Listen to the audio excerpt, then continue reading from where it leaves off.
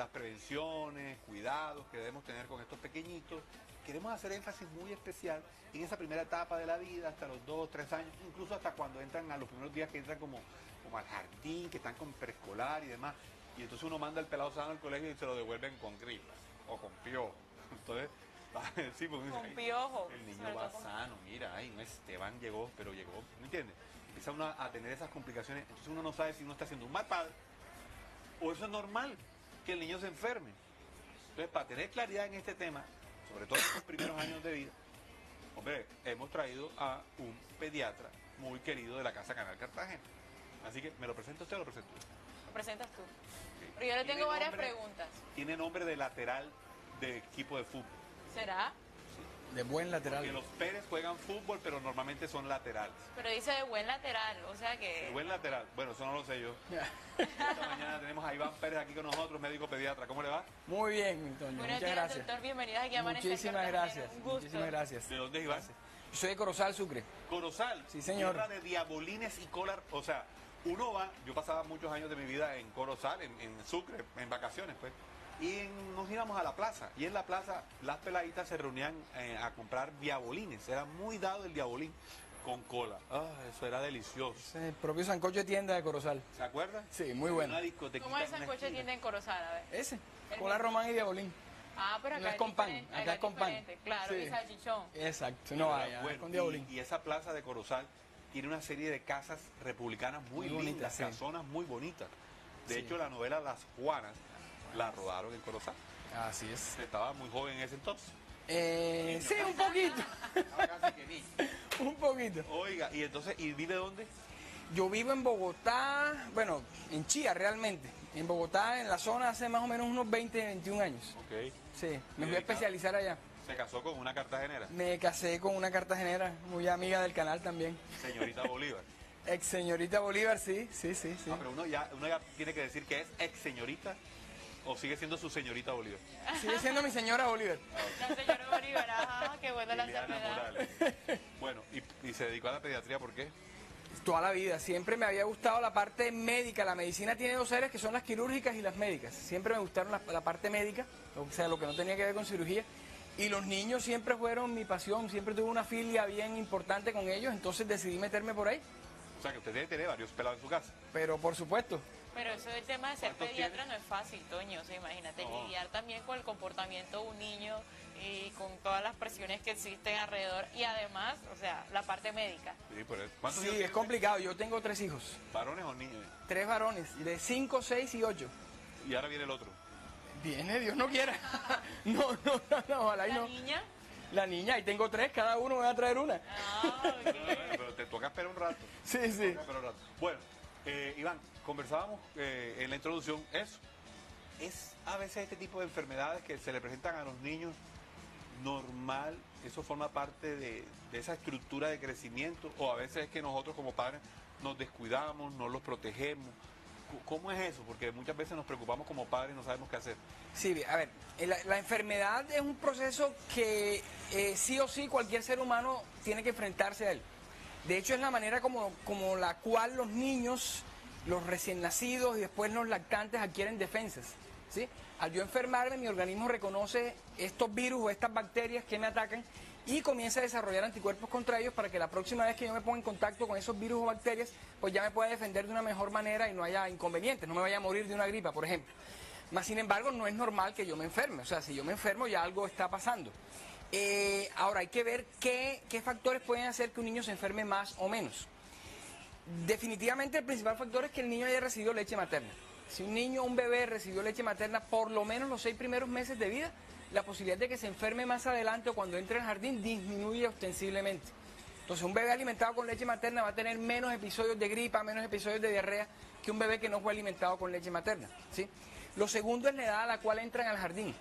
Un bebé, un niño, entre más pequeño entra al jardín, hay muchos estudios que han mostrado que cuando entran menos de dos años, la posibilidad de que se enfermen más es mucho más alta que cuando entran después de los dos años. Pero cuando entran después de los dos años al jardín, se enferman menos los primeros años, pero cuando son más grandes se enferman más.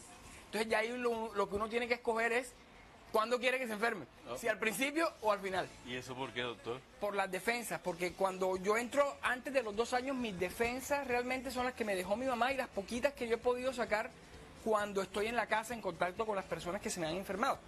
Pero cuando, cuando ya estoy más grande, pues tengo más defensas, ¿sí? Entonces cuando entro más grande al jardín, la posibilidad de que me enferme en ese periodo de tiempo es mucho menor. Pero cuando entro, entro más chiquito, cuando entro al jardín se me pegan muchas enfermedades mucho más rápido y desarrollo de defensas más rápido que cuando entro más grande. Por eso es que se enferman más cuando entran más chiquitos, pero cuando entran más grandes se enferman más después. Igualmente se equipara, se van a enfermar lo mismo, pero unos se enferman antes y otros se enferman después. Ni idea de usted, ni idea. Eso ocurre. jardín, pero ¿Y sí, cuáles son esas enfermedades más comunes que se presentan en los pequeños, doctor? Bueno, eh, ahí también hay que separar por grupos. Yo te diría que eh, antes de los tres meses, y es una recomendación supremamente importante que le doy a todos y ojalá se les, se les grabe, los que tienen niños menores de tres meses, si a un niño los están viendo con fiebre y tiene menos de tres meses, tiene que irse corriendo para una urgencia. Un niño menor de tres meses no puede ni debe tener fiebre. ¿No? ¿Verdad? La principal razón por la cual esto se aconseja es porque la causa de esa fiebre puede ser una sepsis, o sea, una infección generalizada que mate al niño. Entonces, un niño de tres meses con fiebre corriendo por una urgencia para que lo vea un pediatra. Definitivo. ¿sí? Si ya es mayor de tres meses, las principales enfermedades con las cuales estos niños eh, tratan son las enfermedades respiratorias y las gastrointestinales. Son las más frecuentes. Entonces, la, la gripa, la otitis, las laringitis, las bronquiolitis, las neumonías, ¿sí? O las gastroenteritis son como la causa más frecuente de enfermedades en niños de ahí hacia arriba. Son las dos primeras causas. ¿Pero es por, por el, el entorno, el ambiente o...? Sí, Eh, las enfermedades respiratorias eh, en mucho tiene que ver eh, el ambiente en el sentido en que los vientos, los alisios, generalmente en ciertas épocas del año en Colombia traen muchos virus, entre ellos un virus que se llama sincicial respiratorio, que es una causa importante de una enfermedad que se llama bronquiolitis acá en Colombia, pero también muchos más, traen los rinovirus, las influenza, la parainfluenza, que son causas de enfermedades respiratorias. Entonces en eso tienes razón tú, en el, el ambiente puede ayudar en eso. Los cambios bruscos de temperatura pueden hacer que estas enfermedades se empeoren y el hacinamiento. Entonces ahí es donde entra en juego el jardín. El colegio. El claro. colegio, entre más personas juntas haya en un mismo espacio y yo llevo un niño enfermo ahí, ese niño es capaz de pegarle esa enfermedad a 10 niños que están alrededor de él. Entonces es importantísimo que cuando un niño se enferme no lo lleven al jardín porque por ese van 10 más y por otro más otros 10. ¿sí? Entonces tiene que quedarse metido en su casita para evitar que ese virus se siga esparciendo y los otros se sigan enfermando. Y, eh, a propósito de eso respiratorio, un pequeño paréntesis. Cuando el niño está muy chiquito, es conveniente que esté eh, en, en ese cuarto donde uno lo deja con aire acondicionado o con abanico. Es un punto muy importante. Hace poquito hice un, un video educativo en ese sentido. Los aires acondicionados tienen el inconveniente en lugares tan calientes como Cartagena. Uno es que si es un hotel, es muy posible que ese aire esté lleno de polvo. Polvo, hongo, humedad. Cuando uno prende el aire acondicionado, lo que está allá adentro sale y se esparce. Y si son personas o niños alérgicos, eso le va a hacer bastante daño. Lo otro que también les puede, le puede hacer daño es que estando en ese aire acondicionado salga el calor que está afuera, esos cambios bruscos de temperatura pueden hacer que un niño que ya tiene una gripa se empeore o que si no la tiene se le dé, se le pegue. Entonces, en ese sentido, el aire acondicionado tiene ese inconveniente. Si usted le hace un muy buen mantenimiento a ese aire y le mantiene las ventilas limpias, lo más probable es que no haya, no haya problema. Y se cuida de ese cambio tan brusco de temperatura entre frío y calor, no habrá inconveniente, pero hay que tener en cuenta ese par de, de- de- de consejos para evitar que el aire acondicionado pueda hacerle daño a un niño. Porque cuando los niños están pequeños, pues yo por lo general escuchaba mucho que decían, no, que está apretado, que está enfermo, ¿por qué da tanto eso? Sí, eh, cuando acá en la costa nos referimos a que está apretado, nos referimos a que tiene, a lo que en medicina llamamos eh, broncostrucción, y es que los bronquios se le cierran, ¿sí? Eso es secundario a muchas causas, pero la más frecuente generalmente es en niños menores de dos años la bronquiolitis y en mayores de dos años el asma, ¿sí? Entonces los niños que tienen, eh, eso se llama hiperreactividad bronquial, o sea, una alergia bronquial, ante sustancias que están en el medio ambiente y que ellos respiran, le pueden hacer, si son asmáticos, que esos bronquios se cierren y entonces se aprietan. Y ustedes comienzan a escuchar una tos seca, ¿sí? como que no pudiera toser más en la noche, se ponen morados. Y los que tienen bronquiolitis, les pasa lo mismo, pero por el- un virus que se encuentra en el ambiente, que es el sincitial respiratorio del cual te hablé hace un, un rato, que hace que los bronquios se inflamen por dentro y el bronquio se cierre, ¿sí? y como se cierra, el aire no pasa de forma adecuada y los niños comienzan a tener como una sed de aire. Eso es lo que ocurre. Sí, yo le decía esta mañana a, a Natalia no sé qué tan conveniente es que a veces los padres en el afán, en el afán de ver a nuestro hijo bien, tomamos ciertas acciones. Eh, yo recuerdo que un día mi hija se estaba ahogando y con la bombita eh, esa- Inhalador. el- para sacarle los moquitos. Ah, sí, sí, sí. Una La bombita perita. como la perita, azulita, y eso no hacía así, y, y lo que hacía era que se le devolvía. Y uno atrevidamente en el desespero coge, mete la boca y absorbe para tratar de que el niño este, eh, se, se descongestione. Yo lo he hecho, lo hice en su momento. Esos- Total. esas, esas prácticas son convenientes. Pues mira, en un momento de desespero yo entendería que tú lo pudieras hacer de pronto que estás viendo que tu niña está muy mal, más sin embargo eh, la mejor medida cuando estás viendo que un niño está muy tapado de acá de la nariz son los lavados nasales. Es sencillo, tú coges una jeringa, dos, tres centímetros, tapas una nariz, metes la jeringa aquí y, y Está sueltas. tan chiquitico, doctor. Pequeñitos, recién nacidos, se les puede hacer el lavado de esa manera. Wow. Acostadito de medio lado, se puede tapar la nariz de acá, se le hace la jeringa aquí. Pero va a llorar con... Todo, pero le va a limpiar absolutamente todo y si se está ahogando de acá arriba, se lo limpia y, y le va y- bien. y para los niños de 47 le sirve? Perdón, ¿cuáles niños? ¿Cuáles niños? No pregunto, si eso sucede con los niños grandes también. Mira, el problema es que nosotros no, lo, no nos lo aguantamos. Yo lo probé una vez e hice para ver qué sentía el niño cuando le hacían la... Eso es horrible. Ah, pero sí se lo mandamos a los Pero niños. el niño sí que se lo aguanta. No, pero ¿cómo así? No, porque es que ellos no pueden limpiarse la nariz como lo hace uno. Es que tú te puedes soplar, ¿sí? So- eh, eh, con el agua de la ducha, ¿sí? Él no puede hacer nada de eso. Y la capacidad que tiene un niño para manejar las secreciones está mucho más disminuida que la que tienes tú. Tu tos posiblemente es más efectiva que la del niño. Tu soplido, la coordinación para botar el moco, el niño no tiene eso. Entonces hay que ayudarlo. Y la forma de ayudarle es con un muy buen lavado nasal. ¿Y eh, existe alguna anomalía o, por ejemplo, cuando uno tiene gripa y la secreción nasal es con sangre? A mí me pasa. Sí, mucho. sí, eso ocurre porque los vasos sanguíneos, sobre todo en los niños, están muy superficiales. Y al inflamarse la mucosa de la nariz, que es lo que pasa cuando hay gripa o cualquier enfermedad respiratoria, estos vasos se exponen más y se llenan más de sangre porque hay inflamación y se pueden romper. Entonces un niño es muy frecuente que en un episodio gripal o respiratorio infeccioso alto pueda sangrar por la nariz. Eso es muy, muy frecuente y no es algo que debe asustar al papá, Ah, a menos que sea algo supremamente que ocurra todas las noches durante un periodo de tiempo prolongado y que se asocie con otros síntomas como pérdida de peso, como fiebres nocturnas, sí, como manchas en la piel. Si no, no habría nada de qué preocuparse porque eso es un síntoma muy común enmarcado en un episodio de infección respiratoria alta. Oiga, eh, hay algo que también le sucede mucho a los niños y es el famoso hipo. Ah, sí. Entonces uno ve que, pero ponle un hilito aquí al bebé para que se le quite el hipo. Y, y nada, y el papá, y desespero, ¿qué hacemos con un hipo? Si el hipo en el recién nacido es muy frecuente, el hipo se produce porque es una contracción involuntaria del diafragma, que es un músculo que todos tenemos aquí, que nos ayuda a respirar, que separa el tórax del abdomen. Eh, y al ser una contracción involuntaria, realmente hay muy poca posibilidad de que yo con alguna medida externa pueda hacer que ese hipo se quite. Eh, eh, científicamente y médicamente no hay ninguna explicación por la cual un hilo pueda hacer Eso que, iba a decir, que porque se quite. Sí, más sin embargo, pues eh, si le funciona, hágalo. ¿no? El daño, daño no le va a hacer al niño. algo, yo una vez leí algo. Sí. Eh, decía que el, cuando uno pone el hilo aquí, el niño con la vista inmediatamente trata de buscar qué es lo que tiene ahí. Entonces el impulso hacia la vista generaba un proceso como de eh, en el sistema nervioso. Lo distraía. No, algo hacía el, el movimiento de los ojos hacia arriba que generaba una relajación en el sentido de querer ver qué hacía y el sistema se oxigenaba, algo así. No entendí mucho y el día voy a preguntar por qué eso de Posiblemente, pero médicamente, médicamente no, no hay una También razón. el tema del collar de ajo para la tos y para la El collar de ajo, Collar de niña, ajo. diría, fue al Sí. botánico. Allá no llevaron un médico. Allá llevaron fue, venga aquí, Mira, tenemos yo el... tenía una tos seca, No, sí, es verdad. cosa, Sí, sí, collar sí, de sí. ajo. ¿Qué collar Eso de te quita. ajo? Sí, Toño, es una creencia. Sí, sí, sí, sí, sí. Mira, ¿cómo hace un collar de ajo? Allá en Bogotá es la, cam- la camisilla de valletilla roja. Le ponen debajo de la ropa una camisilla ¿Verdad? hecha de valletilla roja. Y, y- y se piensa que, que así también se disminuye la posibilidad de que se les enferme. y lo del collar de ajo sí lo vi aquí, como, como yo estudié medicina acá, mucho. Pero, ¿Y eso qué, qué se supone que hace?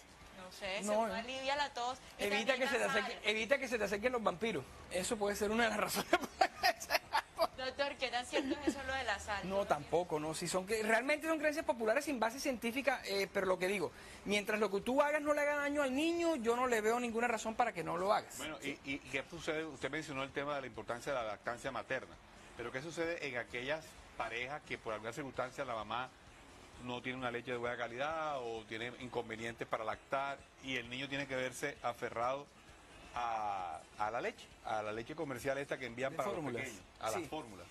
Pues mira, estos niños definitivamente se ha comprobado que la posibilidad de infecciones respiratorias y gastrointestinales aumenta mucho más en el momento de entrar al jardín. La razón por la cual esto ocurre es porque la leche materna es rica infinitamente en sustancias que mejoran el sistema inmune del niño, como la inmunoglobulina A, como los prebióticos, como proteínas, como grasas, una cantidad de sustancias. Y al no verse expuesto el bebé antes de los seis meses a estas sustancias, su sistema inmune está poco desarrollado. ¿sí? Eh, sin embargo, sí hay ciertas sustancias que se se pueden dar después, cuando el niño va a entrar al jardín, que se han demostrado científicamente que pueden eventualmente mejorar su sistema inmune para que la posibilidad de estas infecciones respiratorias y gastrointestinales sea mucho menor. Los probióticos, por ejemplo, son una de estas sustancias. La vitamina D también es una sustancia que está aprobada por la Organización Mundial de Gastroenterología, que al dársela a estos niños que entran a guardería, se enferman mucho menos y les demora menos la, la infección y demora y les da menos infecciones al año cuando yo utilizo estas sustancias. Fíjese que eh, yo le hago la pregunta porque muchas veces ve uno que hay mamás que deciden no, no lactar, Sí. no, porque me daña, me coge, me Sí, daña, sí. la farándula, tú sabes.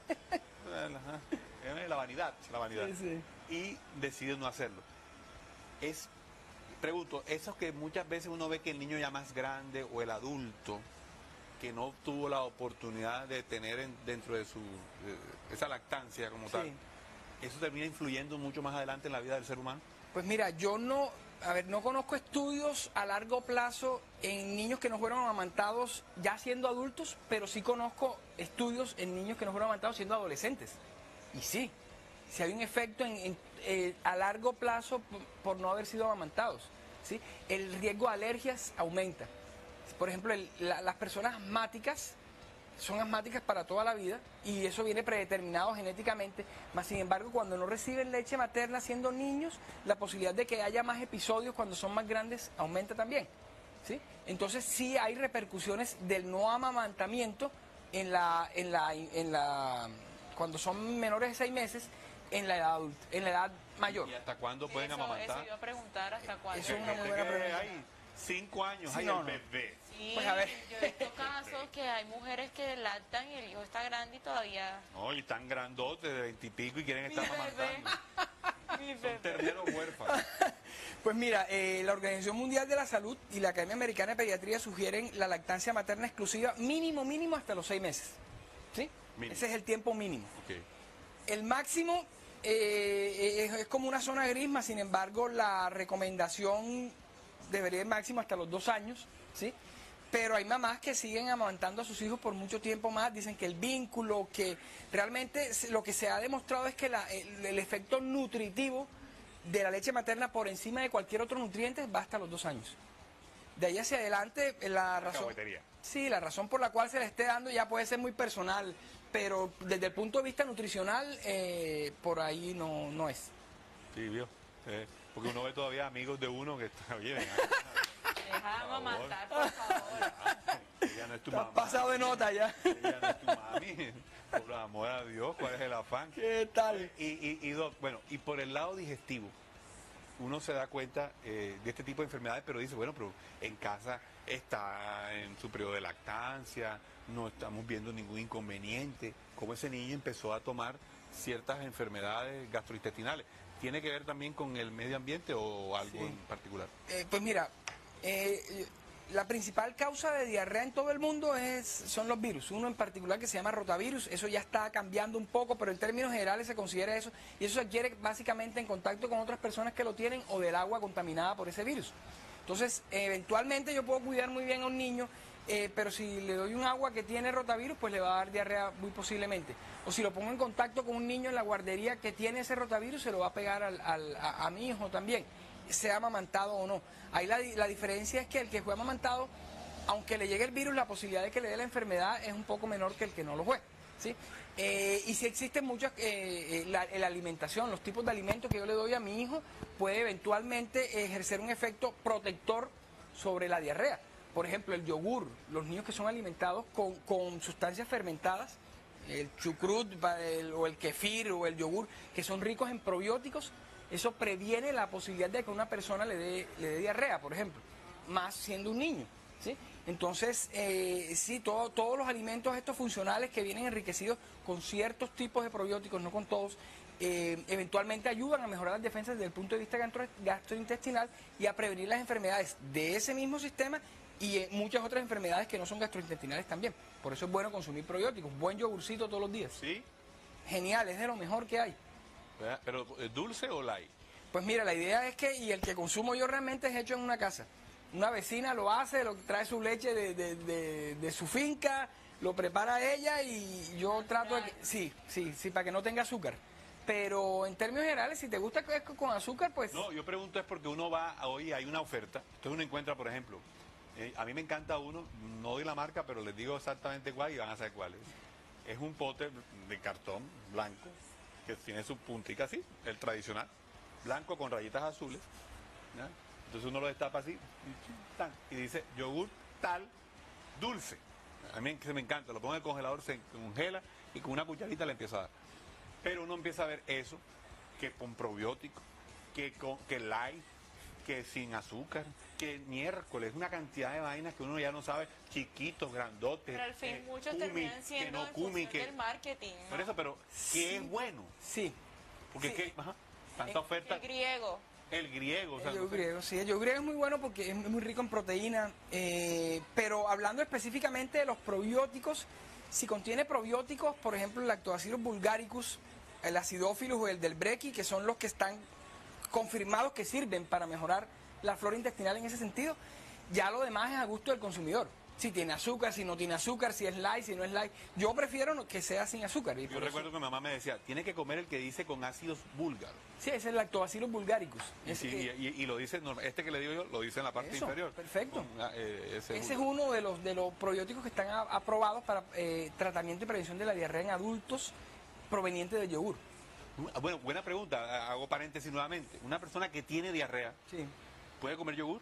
De hecho, eh, la Organización Mundial de Gastroenterología dice que tú puedes tratar la diarrea con yogur. A pesar de que hay lácteo. Exactamente. Si contiene alguno de esas tres cepas, el bulgaricus, el del brequi o el acidófilos. ¿El break es un ritmo musical? no, el suena Casi, casi, casi. ah, ¿el break dance, Eh, por poquito. por poquito. Ok, pero se dice breaky. Del breuqui. Ah, del breo. Sí. Breuki. Sí. Breuki. ¿Y de dónde es ese señor? Eh, yo no sé, yo seguramente era de la cortina de hierro de por allá el que lo, el que lo descubrió. Un- una pregunta. eh, ¿Cuál puede ser la lonchera ideal para un infante Uy, súper. está... eh, Sí. Eh, la dieta de un niño debe ser eh, suficiente en cantidad, en calidad y en variedad. A Esas ver, son, esas un son las. eh, sí, entonces debe tener Mi amor, proteína, la lonchera que me tienes que mandar desde mañana. A ver, proteína, carbohidrato, eh, grasas. Debe contener de todo esto. Entonces, proteína, tú le puedes colocar eh, proteína de origen animal o vegetal, ya depende de- del papá, si es vegetariano o vegano o no lo es. Eh, pero si no lo es, pues puede ser queso, puede ser eh, el yogur griego, tiene mucha, mucha proteína, ¿sí? Carbohidratos, entonces pueden ser carbohidratos compuestos, que puede ser un pan integral o puede ser, ojalá mejor, avena, que también tiene otras cosas que se llaman prebióticos, que es aún mucho mejor unir un prebiótico con un probiótico porque eso ayuda aún mejo- mucho más a la, La, flora la avena del señor de la barbita. El- la misma, es- esa podría servir. Deliciosa Pero si la coges, esa es buena, pero si la coges de estas que vienen en, en hojuelas, es, eh, hervidita, mejor aún, ¿no? ¿Con leche o sin la leche? que no es comercial. Con leche, si tú no tienes intolerancia a la lactosa, ningún problema que evite que tú tomes leche. Los niños deben tomar leche y leche entera, ¿sí? Ese cuento de leche sin lactosa es solamente para personas o niños que sufren de intolerancia a la lactosa comprobada. Pero un niño para su normal desarrollo debe consumir una leche que contenga lactosa. Eso es básico, ¿sí? Ahora, si el gastroenterólogo le diagnosticó un déficit de lactosa o una intolerancia a lactosa, perdón, por un déficit de lactasa, pues bueno, ahí se hacen otras cosas. Pero eso es muy raro en nuestra población, realmente, entonces, leche entera. Eh, eso, y ojalá nada de dulces ni azúcares procesados, Ojalá evitar el azúcar en todos los niños. Por Ojalá. lo menos ese cereal que es súper dulce. Eso es muy dulce. Eso- estos que vienen de cajeta, eso, eso está lleno de dulce. Las O sea, no de bueno. cereal. No, Pero y eso que dice y que Nosli. no, no, No, no. no, para buscar la- de- de- Todo eso, mira, yo, yo prefiero eh, de estos que venden en los mercados que uno le hace así y te coges la copa y lo llenas de, de cereal que no tienen azúcar ni, ni nada de. ¿Cuáles, cuáles, cuáles me ¿Cuáles perdí? Es que yo no sé, pues en Bogotá hay algunos supermercados que, pues no el nombre, que son como naturistas que tú vienes y... y- Granola. Son como granolas, sí, de ese tipo, pero son naturales, no son procesados ni le han echado azúcar. Pero entonces nada. que hay unos que uno compra y dice que no sé qué, fruits.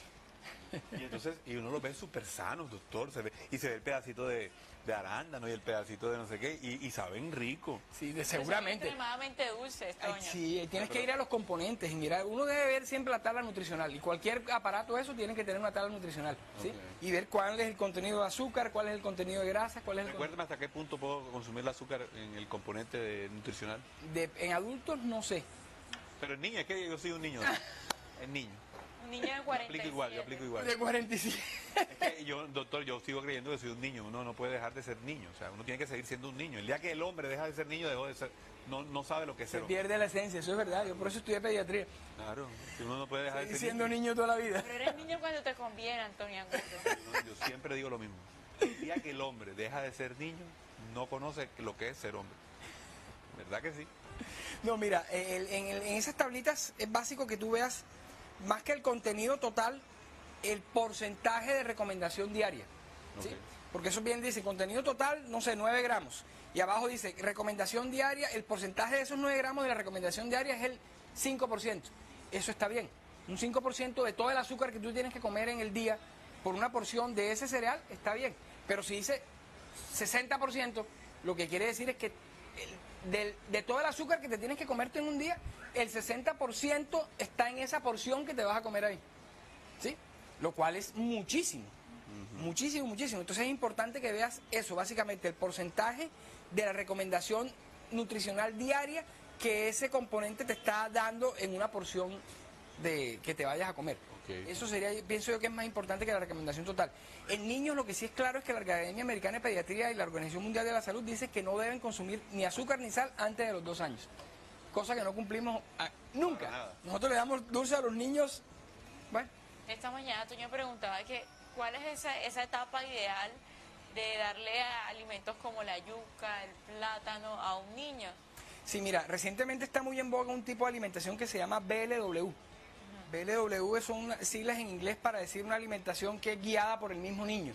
Y consiste en que en el mismo momento en que el niño ya pueda sentarse y tú lo puedas poner sentadito en una silla, le coloques eh, en un plato o en, o en la sillita donde está varias comidas sólidas. ¿Sí? Un brócoli, un pedacito de yuca, eh, un pedacito de papa y él mismo la vaya cogiendo y se la vaya metiendo y se la vaya comiendo. Entonces la recomendación de esto es- básicamente es cuando él lo vaya tolerando. Las técnicas de introducción de alimentación complementaria en el mundo han cambiado mucho y ahora se está tendiendo a introducir cada vez más temprano los alimentos complementarios. Alimentos complementarios son alimentos diferentes a la leche. ¿sí? Entonces antes se decía que, por ejemplo, el, eh, el maní o el... eh, no se podía colocar sino después del año y medio. No, al contrario, se ha descubierto que si se coloca entre los 4 y 7 meses, sobre todo si los papás son alérgicos ¿sí? al maní, la posibilidad de que el niño no sea es menor. ¿sí? Antes se decía que el huevo tenía que introducirse a la- después del año de vida. No, señor, ya no. Ya se puede introducir a partir del séptimo mes, incluso hasta antes.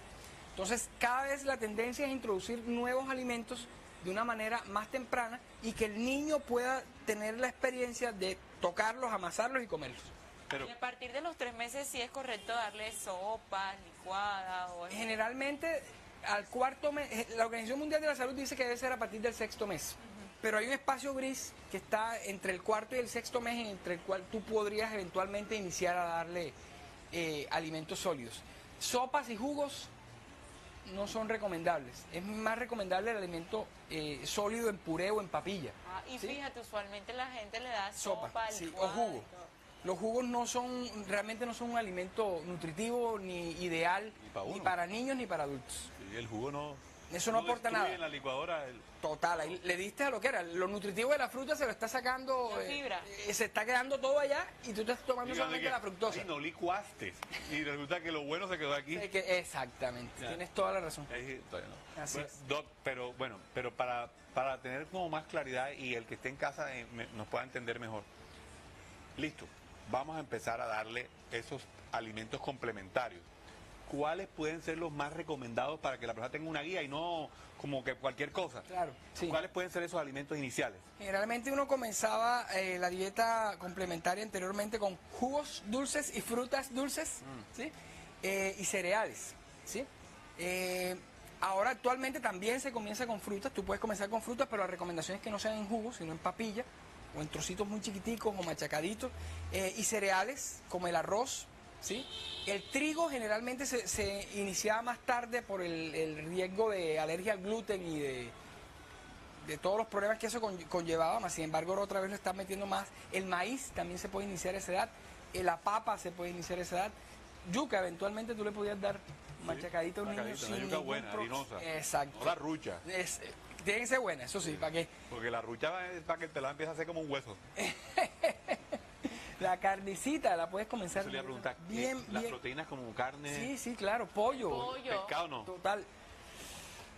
Ahí, mira, con el pescado eh, también se creía que uno tenía que darlo entre los 9 y los 12 meses, más sin embargo lo puedes comenzar antes. Lo que no se, lo que no debes dar antes de ese tiempo son los mariscos, ¿sí? Pero pescado sí eventualmente podrías darlo. Y no hay, pro- y no hay problema. Bueno, fíjate tú, cosas interesantes que a veces uno... mm, mm. Sí, sí, no, y eso, y eso ha tenido muchos cambios recientemente. O sea, no es- eh, eso no es que sea de un concepto muy viejo, de unos cuatro o tres años hacia acá, es que se está hablando de, esto- de esta introducción temprana de los alimentos. Bueno, doctor, una recomendación ya que estamos en la recta final del programa. Eh, ¿Qué recomendaciones serían fundamentales para los padres, sobre todo primerizos, ¿verdad? O abuela primeriza que se le olvidó cómo era la vaina, y te- atendiendo el entorno en el que estamos, ¿verdad? Hoy día hay más contaminación, hay polución, hay una serie de condiciones que han variado y que indiscutiblemente es una cosa hoy 2018 a 1980. Total. ¿Cuáles son esas recomendaciones importantes? Pues mira, eh, lo primero es que eh, busquen consejos cuando lo necesiten de una fuente seria. No de la, porque se lo dijo la vecina, no porque vio un video tutorial de una influencer en YouTube, Doctor Google. Sí, o porque lo buscó en Google, sí, o sea, no. Que por favor busquen consejo de su pediatra, de una persona que maneje el tema, ¿sí? Con respecto a la duda específica que tengan, ¿sí? Eh, segundo, que la salud del niño es muy delicada, depende de la capacidad que tengamos nosotros como padres y, de poner en práctica cualquier conocimiento que tengamos para que esa salud sea buena o sea mala, ¿sí? Eh, que no le, no, no- no le transmitamos al niño nuestro nerviosismo o nuestra falta de conocimiento, sino que siempre estemos, intentemos estar lo más tranquilo cuando estemos al lado de un niño, sobre todo si está enfermo. ¿sí? En un niño enfermo hay que mantener la calma siempre. Menor de tres años con fiebre para urgencia, corriendo. Menor de tres años con tos para urgencia, corriendo. ¿sí? Tos seca, frecuente o con signos de dificultad respiratoria. Eh, brindarle al niño amor a montones. Y amor no es que lo estén cuchicheando y besando, sino que le coloquen las vacunas, ¿sí? Que no lo manden al jardín cuando esté enfermo. Que eviten que vayan a la casa eh, los familiares cuando el niño tiene menos de un mes. ¡Ay, qué niño tan bonito! Y lo levanten a besos y lo abracen. Entre menos personas visiten a un niño recién nacido, le va mucho mejor a ese bebé. ¿Sí? Totalmente. O sea, que los regalos de lejos, una No, ventanita. mire, ¿sabes qué puedes hacer? Yo te, el, el- el- la camarita del cuarto la puedes poner ahí enfocando al niño y tú recibes la visita ahí en la sala. Un Mira, ahí está el niñito. ¿ves? Sí. Eh, eh, miren qué lindo, él es hermoso, pero no se le una acerca. cámara shower. Ya, esa Una cámara shower. Hoy hay cámara shower en la casa. Todo el mundo Total. trae el regalo y ahí está el niño. Ahí, ¿Dónde está? y Mira, ahí el está, mira lo que lindo. Ay, qué Sí, lindo. divino. Ahí está, y de pronto sale la peladita del aro. Vamos a decir. Sí, yo pienso que eso- esos son como consejos generales para tratar de mantener la salud del, del- del bebé eh, en términos generales. sí. Oiga, qué, qué Bueno. bueno. Oiga, Doc, yo le quiero regalar a usted y a todos los tenentes a toda la mañana, como de costumbre, la frase, la frase, mi querida Nati. ver. A ver, la frase del día. Productor, rueda, por favor. Por, por más diplomas, cargos o dineros que tengas, como tratas a las personas es lo que define tu educación. Cantinflas. A vaina. Así es. Muy bueno. cual, punto. Ah, Total. Eso tiene que ver con una, una dosis de humildad. También que es importante poderla manejar. Oiga, sabemos que está en Bogotá, pero las personas que lo hemos Deseen visto... contactarlo, redes sociales, número de Mira, eh, yo tengo una empresa que se llama Pediahome. Eh, qué pena.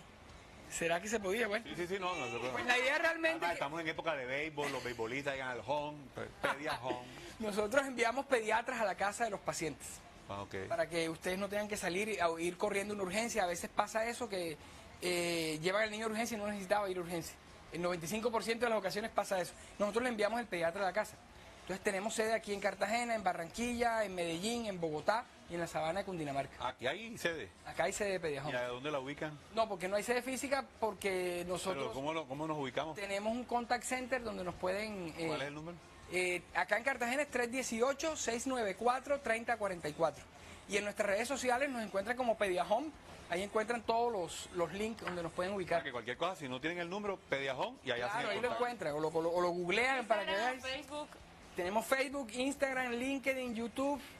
todo, Snapchat, La página web. Ah, ah, tiene el chat, tiene GoPro, tiene cámara de SLR, tiene, ah, tiene baby. De todo. Oiga, Sí, me señor. gustó, no hagamos, después de que antes haga el baby shower, Cámara y le shower, dan no, a las embarazadas, shower. después cuando el pelado nace, hacemos cámara shower. Total. Vengan, conozcan al pelado, ponemos una camarita, lo shower. transmitimos y entonces allá la mamá que está toda impecable haciendo que, oh, este es el niño, mira, mira, ay, tiene el lunar del abuelito, ay, la abuelita, ay, da plata, abuelito, suéltala, ay, cámara, chao. cuando el bebé está recién nacido es cuando todo el mundo lo quiere cargar.